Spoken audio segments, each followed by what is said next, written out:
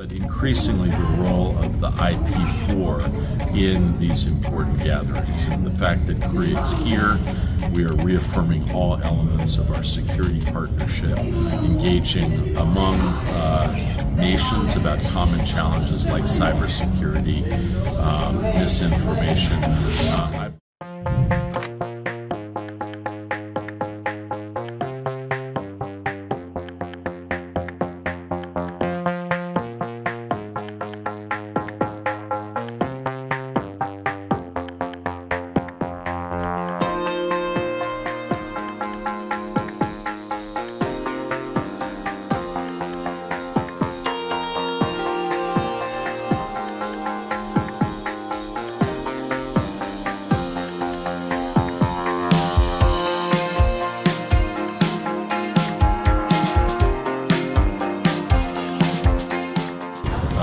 others inside the Korean government, opposition parties.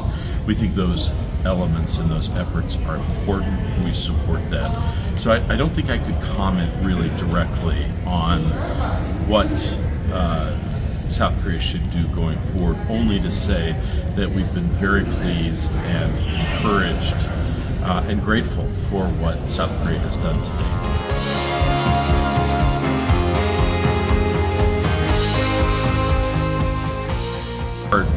Do anything related to predicting the future. I do want to underscore that there are a few uh, elements that I think our friends and allies in the Indo-Pacific should focus on. The first is that there is a substantial bipartisan agreement about enhanced engagements uh, in the Indo-Pacific region.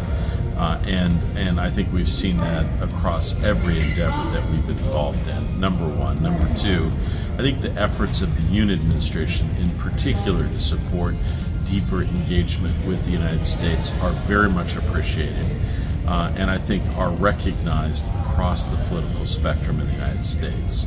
Three, the areas of increased engagement, defense, technology, I believe we have every reason to think will continue under whatever political circumstances going forward. So, myself, I'm quite optimistic that there is a substantial bipartisan dynamic that leads to forward momentum that should be reassuring to our allies, partners, and friends in the Indo Pacific region.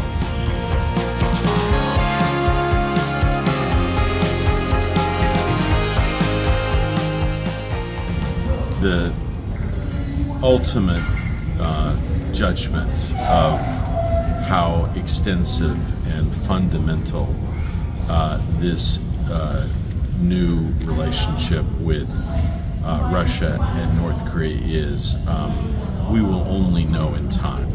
However, from the highly visible nature of the visit, what North Korea has already done in terms of supporting Russia's defense industrial base and providing uh, artillery, long range missiles, and other engagements that run the other direction, Russia's support for North Korea. There's already enough there to concern us, and I think we've been um, working closely with South Korean partners to together evaluate every element of uh, what has taken place between Moscow and Pyongyang we are both concerned and uh, vigilant, and we're determined to meet any challenge with a very uh, robust response. And uh, we are coordinating not only at the bilateral level, but trilaterally and increasingly with other countries in the Indo Pacific. I expect that will continue going forward. Ultimately, this is uh, an unwelcome development uh, and uh, one that the United States has to take carefully into consideration as we move forward.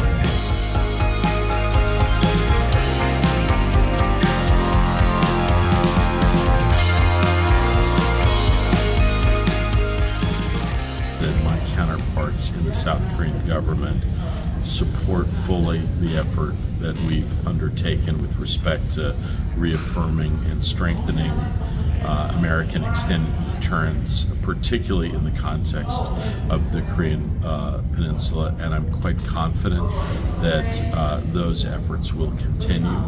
um, one of the reasons that we're so grateful that President Yoon is here for the celebration of the 75th anniversary uh, of NATO is not only about the past, what has been accomplished on the uh, European continent and the linkages on the transatlantic front with the United States in particular, but increasingly the role of the IP4 in these important gatherings and the fact that Korea is here. We are reaffirming all elements of our security partnership, engaging among uh, nations about common challenges like cybersecurity, um, misinformation. Uh, I believe that uh, in our discussions over the course of the next few days with a range of Korean interlocutors who are visiting here in Washington, we'll take every opportunity to reaffirm every element of our bilateral relationship, including uh, with respect to uh, the Washington De uh, Declaration and our joint efforts at uh, strengthening, underscoring our extended deterrence commitment.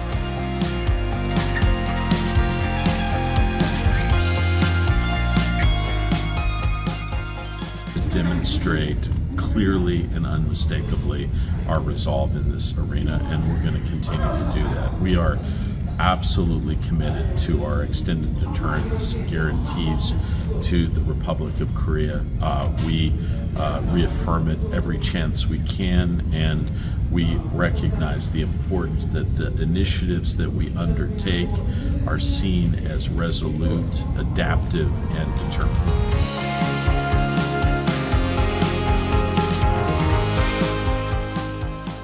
Lot of expertise. She did a, a, remarkable job here at the State Department, but we have many other officials uh, in our government that have been focused on the DPRK for decades. Um, I would modestly include myself in that, among that group. I do want to underscore that we continue uh, the most resolute focus on these issues, and we are looking at also bringing in new capacity as well. I don't want to get into details about that, but we recognize the importance here.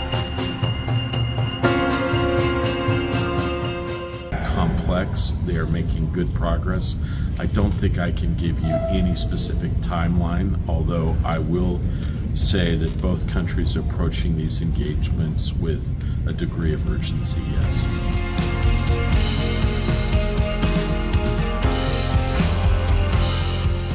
There, and it will happen this year. Um, I think, as you probably can recognize, there are lots of challenges right now.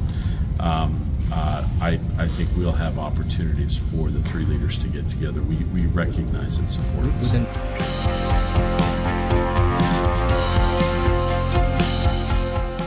There are a number of things that we'd like to undertake.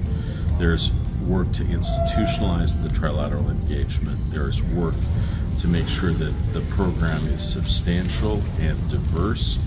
We're also looking to find opportunities to include South Korea in other engagements as well. So, for instance, I think you'll be hearing more in the coming days about the Indo, Indo-Pacific Four, the grouping that is with us here in Washington. We want to institutionalize that. So I think you're going to see multifaceted efforts to make sure that we recognize and acknowledge the ROK's increasingly important, not just regional role, but global role. Thank you very much.